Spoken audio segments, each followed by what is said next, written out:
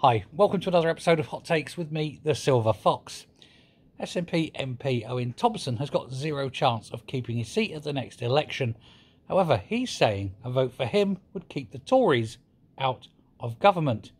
He's had a community notice because he posted that on X, and it's clearly not true. It's Labour who are going to be taking him out. If he truly wants to keep his seat, he's got to get people to stop voting Labour, not Tory. Why does he hate the Tories so much when it's Labour that are going to take him out? Because it's the SNP way. He knows he's finished. He just wants to make a point. They can't beat Labour, but if they can end the Tories, they can claim it as a moral victory. Whatever happens, he will be looking for a new job. But the community note he got on X is clear that he's talking an absolute pile of rubbish. Perhaps he should spend more time telling people the truth than lying, and his job may have been safer. Alas, that is not the SNP way. Thanks very much. Bye.